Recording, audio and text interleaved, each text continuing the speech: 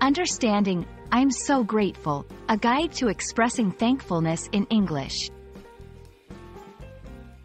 Hello, everyone. Today, we're going to explore the phrase, I'm so grateful, and understand its use in the English language. This phrase is a powerful way to express thankfulness and appreciation, and it's essential for English language learners to understand its nuances. So, let's dive in. I'm so grateful is a phrase used to express a deep sense of thankfulness and appreciation. It's more intense than simply saying, thank you, because it conveys a level of emotional depth.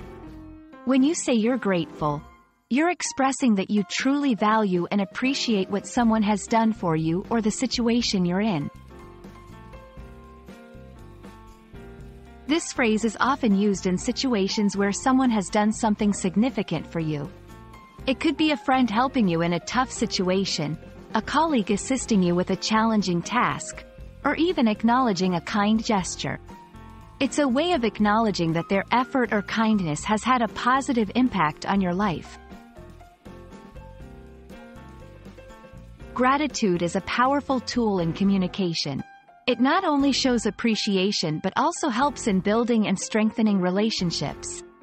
When you express gratitude, you're showing that you don't take others or their actions for granted.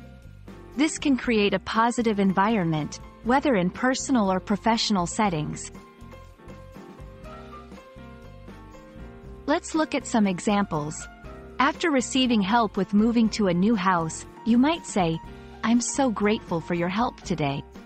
I couldn't have done it without you. When someone offers you emotional support during a hard time, I'm so grateful for your support and kind words during this difficult period. Thank you for watching.